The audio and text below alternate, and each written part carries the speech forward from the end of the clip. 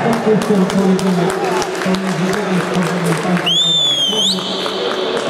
za zera zwycięży Słowik